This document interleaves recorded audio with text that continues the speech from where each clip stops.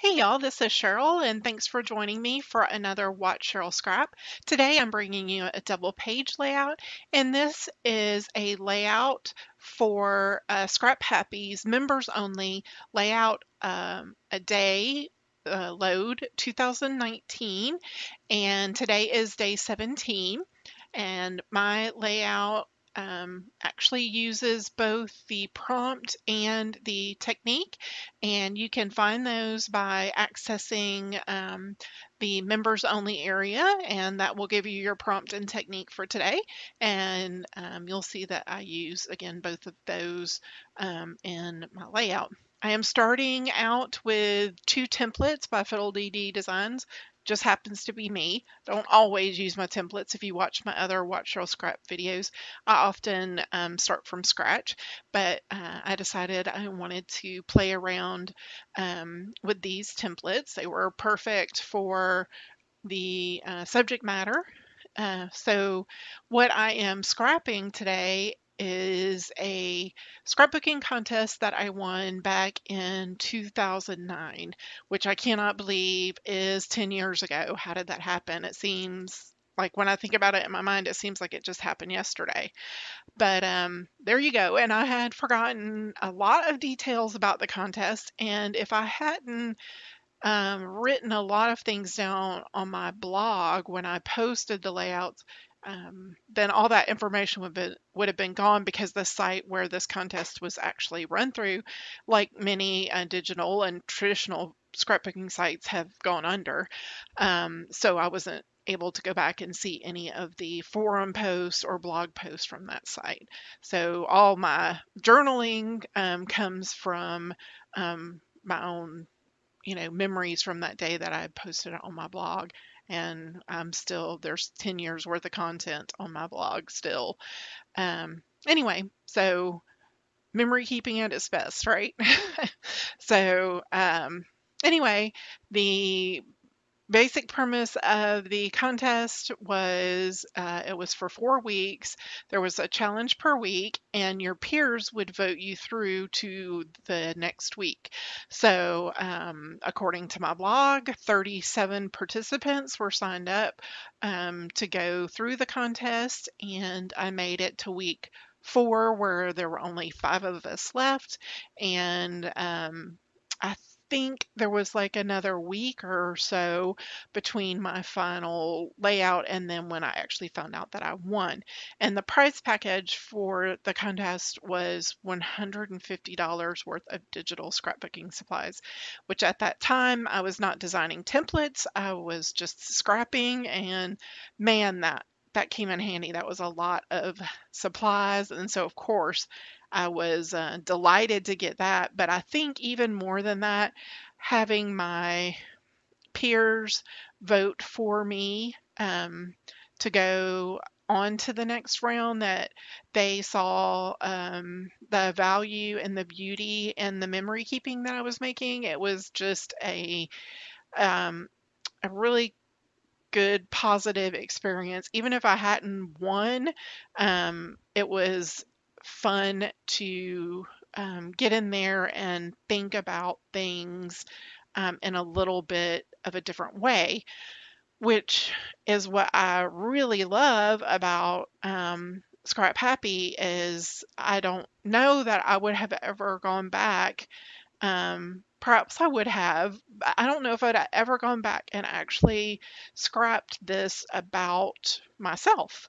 So it's just um, if you're just doing layout a day for the first time, you'll, I hope you'll find, um, you know, a lot of value like I did in um, meeting the challenges, seeing your photos and your memories in a little bit of a different light.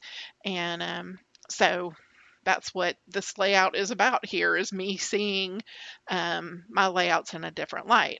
So that being said, I had thought that I would just put the layouts that I made for the contest. Um, I had originally thought that I was just going to do, you know, two per page and have it be kind of a horizontal layout. Uh, but then once I realized how much information I was missing from just my memories in my head compared to what I had written in my blog post about um, how many participants there were and how many were left in the final week, uh, you know, how I'd forgotten that it wasn't, um, I thought it was administration and peers that voted, but it was just peers. So all those details I felt like I really wanted to keep on this page um, as well. So I did screenshots um, from my blog. Uh, now, when I scrapbook, if you watch any of my other videos, most times I will have a, uh, white border or stroke around my photos to give them um, some delineation for my papers and elements on the page. So because these are all white in the background, um, I do feel like I need to mat them and I don't usually mat my photos. So that's going to be a little different thing that I'll do here at the end. Um, so while I've been gabbing and chatting and and um, essentially being my own cheerleader here, uh, I have obviously done a lot of filling in um, of the templates, and I wanted to personally challenge myself this time not to use solid paper. So you'll see a grid paper in the background of both pages and um, it kind of reads as a solid and so does the um, pink and cream um, arrow paper as well.